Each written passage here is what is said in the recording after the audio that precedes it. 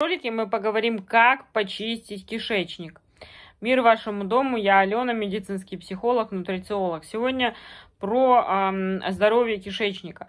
Я не буду вас э, мучить сказками о том, что вам нужно как-то вычищать свой кишечник, доводя его до каких-то язв, колитов и каких-то других итов. Это все блажь и э, зарабатывание денег.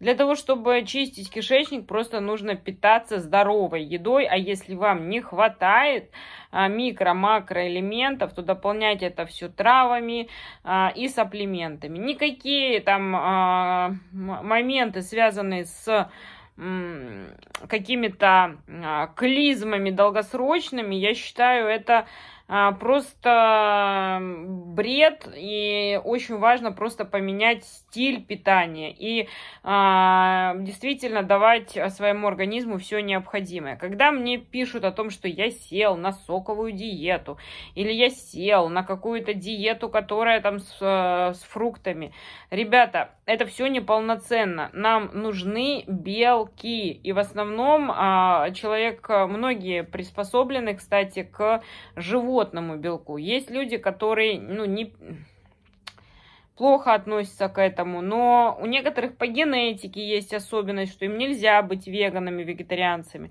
То есть э, почистить кишечник, ваш кишечник сам очищается, у вас еще есть там лимфа, печень, кровь, все это прекрасно взаимодействует и функционирует. И для того, чтобы просто э, у вас был здоров кишечник, вам нужно постоянно э, ежедневно опорожняться. Для этого достаточно количества салатов, поддержит э, ваше здоровье. Но кому нельзя салаты? У кого раздражение слизь, у кого язвы. Э, и э, хочется сказать, что кишечник не нужно чистить э, прям от как там нарисуют шлаки, токси, токсины прям выходят. Для этого нужно просто заботиться постоянно о своей э, пищевой тарелке.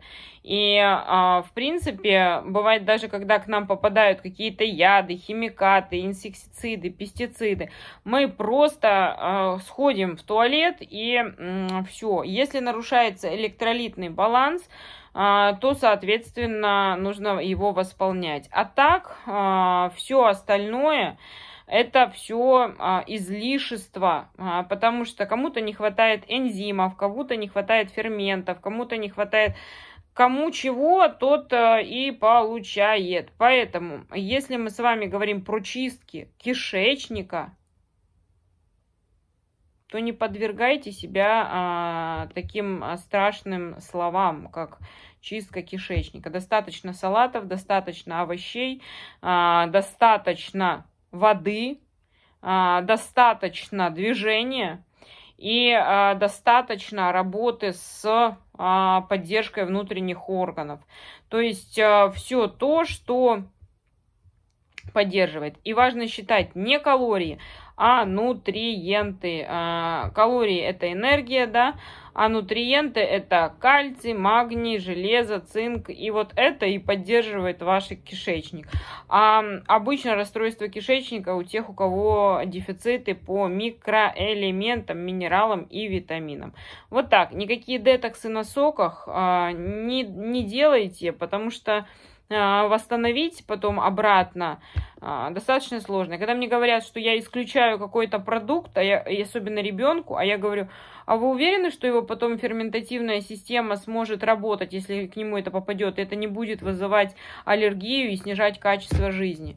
То есть я всегда а, вот с таким моментом работаю. Еще у нас бывает, а, попадают к нам тяжелые металлы, частички ртути, и все, токсины, вирусы, ксенбиотики, пестициды. И ваш кишечник это, за этим всем с этим всем справляется. Токсины в питьевой э, воде это хлор, э, свинец, э, то есть все это попадает. И кишечник все это выводит. В чем смысл детокса? Смысл детокса э, это в том, чтобы все ферментативные системы работали. Подписывайтесь на мой канал, пишите вопросы, да, с радостью дам вам обратную связь.